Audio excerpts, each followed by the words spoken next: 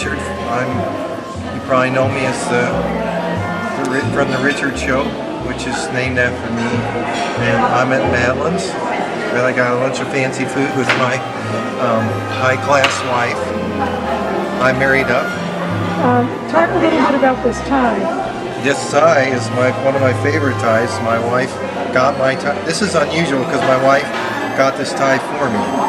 Actually, all the the other ties um, that I have, actually, I guess my wife got those too. And I have about 70 ties.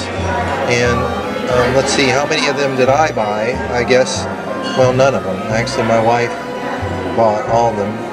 Is it? Are you enjoying yourself? Because you seem to be doing a close-up of my tie. There's, Is that pretty exciting for it, you? it's got purple and blue in it, and it's very reflective. You see, what's interesting is this is a we're one of the first. This is the first time the Richard Show has been on the road, and um, now I guess one important lesson is be careful about whether or not you want to give the wife the camera, right?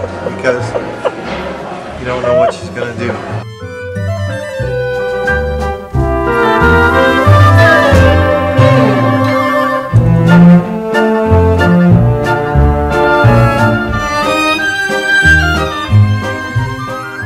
Of the coolest things of these guys, these heads.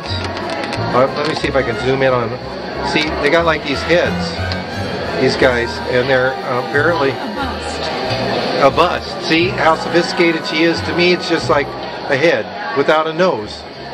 Apparently, like a lot of these, they're they're like Mozart and stuff. And um, here's one. They don't have noses, a lot of them. So I guess like a lot of those composers got in fights and stuff No, it's because they're made of marble, and they were outdoors during the Industrial Revolution, and the acid rain, because of all the coal smoke and everything, actually just washed them away. Wow. See all the stuff you know?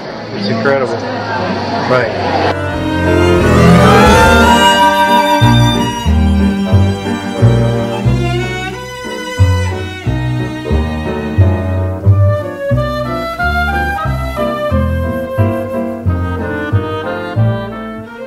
Wife coming back with more food.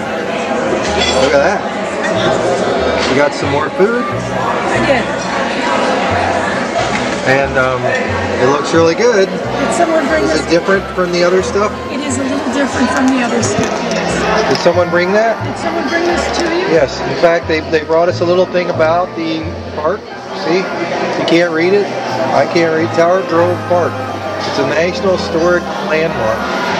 See, but my wife already knew all about that because she has seen the what she calls URL, which I happen to know stands for Universal Resource Locator, on the World Wide Web.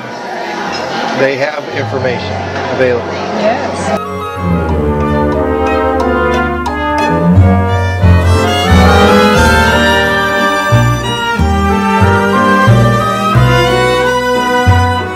This is Richard's wife by the fountain. Can't see her because of the light. She's- there she is. She's very beautiful and sophisticated. And look, it's fountain. Oh yeah, and the fountain. See these little guys? Then, They're holding up the fountain. There's water coming out and over now- top, like is often true of fountains. and, and then And then there's flowers. My wife giving me directions. Flowers, more flowers, more fountain, little guys. Little guys. And, and I'm kind of riveted about these head guys. But look at these head guys. Three, my wife tells me they're called busts. Okay, this handle. Look at that crazy handle. Whoa. Whoa. And then the what? Did I get the face? Oh my god, there's a face at the bottom of the handle. And they have a nose, which is unlike the other ones.